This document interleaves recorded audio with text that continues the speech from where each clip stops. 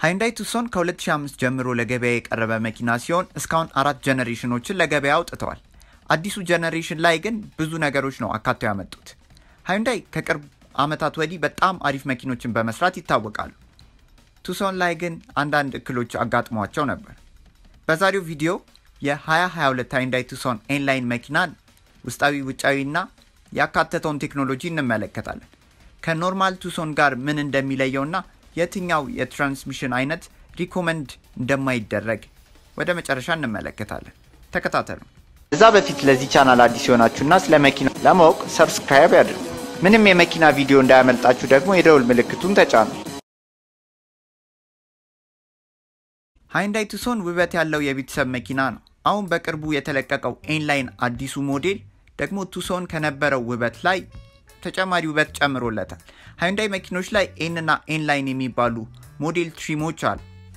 N Line ሞዴሎች ላይ የሚደረገው ስፖርታዊ cosmetic upgrade ሲሆን እነሱም spoiler፣ wheel እና የመሳሰሉት ናቸው። የሃዩንዳይ N እንደ ቶዮታ TRD ወይም እንደ ሜርሴዲስ AMG ሁሉ የሃዩንዳይ performance brand ነው። ከውጭ ገጽታው ስንጀምር ቱሶን N Line ከ normal ኡ ቱሶን የሚለየው N Line ላይ 19 ኢንች alloy ቸርኪዎች፣ LED የፊትና የጀርባ መብራቶች እንዲሁም daytime running light ኡ መብራቱ በሚጠፋበት ጊዜ ከ grille ኡ ጋር ስለሚመሳሰል በጣም ያምራል። ከዛ በተጨማሪ የ N Line badge፣ ስፖርታዊ ወንበሮች፣ N Line ላይ ብቻ የሚገኝ መሪና 10.25 ኢንች touch screen አሉ። የመኪናው የፊት መብራቶች ከ daytime running light ወረድ ብሎ ነው የምናገኛቸው። ትንሽ ለየት ይላል። ከፊት መብራቶቹ ጎን air vent ወይም የአየር ማስገቢያ አለው። ብዙ መኪኖች ላይ ይሄ ነገር functional አይደለም። እዚህ መኪና ላይ ግን functional የዚህ መኪና ርዝመት ከ2021 ቶዮታ RAV4 ጋር ስናወዳድር የ RAV4 15 ሚሜ ረዘም ያለ ስለሆነ ሰፋ ያለ interior space አለው። ወደ ጀርባ ስንመጣ ደግሞ የዚህን መኪና የኋላውን ገጽታ ስናይ LED የጀርባ መብራቶች ናቸው ያሉት። LED light bar ኡ ከጫፍ እስከ ጫፍ ሲሆን ዋናው መብራቱ ግን ቀጥ ያለ ነው።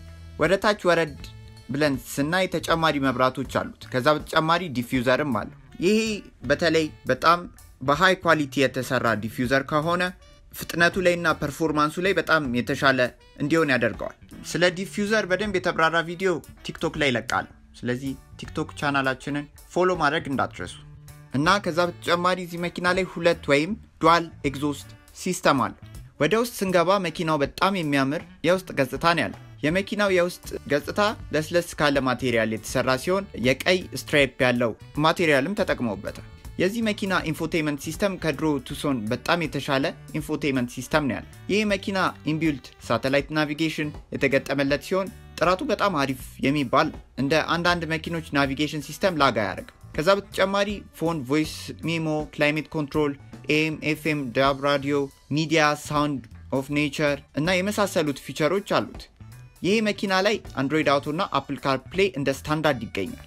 እዚህ መኪና ላይ ከሚገኘው infotainment screen በተጨማሪ ባለ 10 ኢንች display አለው ለሹፌሩ። ይሄ display ቀለል ያለና ለአጠቃቀም የሚመች ነው። ግን የሚለየው መሪው ላይ ባሉት button ኦች በመጠቀም የተለያዩ driving mode ኦችን እዛው ላይ መምረጥ ትችላላችሁ። ወደ safety feature ኦቹ ስንመጣ ይህ መኪና በአደጋ ጊዜ የመከላከል ብቃቱ ወይም አቅሙ five star ያገኘ ሲሆን ካሉትም safety feature ኦች መካከል low እና high speed ላይ autonomous emergency braking፣ blind spot monitoring ስፖኪዮ ላይ እና driver ኡ display ላይም ያሳያል።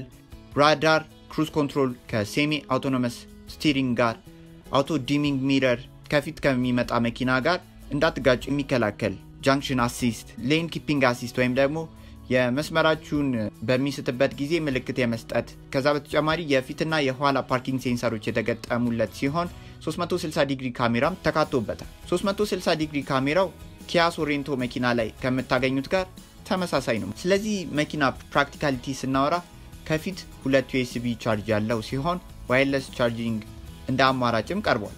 ይህ መኪና አራት cup holder ያሉት ሲሆን ሁለት ከፊት ሁለት ደግሞ ከጀርባ ታገኛላችሁ። ከዛ በተጨማሪ ሰፋ ያለ glove box፣ ሰፋ ያለ center console አሉ።